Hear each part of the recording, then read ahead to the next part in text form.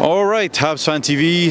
The Canadiens lose to the Toronto Maple Leafs 4 1, maybe 5 by the time we're done by this. I mean, look, was it anything that we weren't expecting? No. You bring Matthews, you bring Marner, that's what you're going to get. Um, otherwise, I mean, there's one good news, and everyone knows what I'm going to talk about.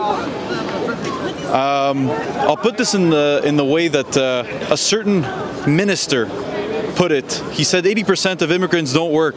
Let me tell you, there is a Slovakian immigrant that came today and put in a damn shift for the Canadiens. What a play to give an assist. Drouin got a goal. Good for his confidence. The Canadiens didn't look bad at times. Matt Murray obviously had the performance of a century. Uh, let's hope like he's not like that on opening night. Um, otherwise, you know, obviously Leafs, you put them on the power play so many times, they're obviously going to score. And the Canadiens didn't do a good job at keeping out uh, penalties. Otherwise, I mean, what else is there to say? I mean, we've lost every single game in preseason, whether it's deserved or not. Well, we still haven't won a game, so I guess we kind of know where we're going this season. Let's not pretend that we don't. We're trying to head to the bottom, to the bottom of the standings. And I'm sure everyone else here would love for Connor Bedard to come to Montreal.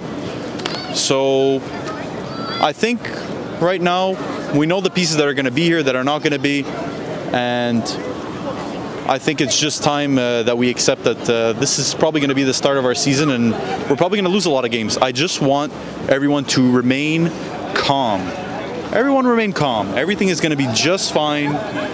We're going to go towards the bottom. It's totally fine. This is what was supposed to happen.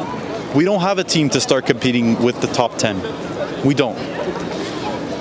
So, I mean, that's my post game thoughts. Let me know what else you guys. I have in mind Xhekaj putting in a nice physical performance. Matheson, he is going to be that replacement for Petry. He is fantastic. He's an amazing, amazing skater. I love watching Matheson.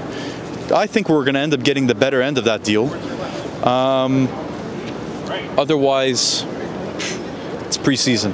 Let's all relax. Habs Fan TV, thank you so much for watching this video. Don't forget to like and subscribe. Like, Subscribe. like, Subscribe. like, Subscribe. and comment on our videos below. Thank you so much. Thank you so much for watching, guys.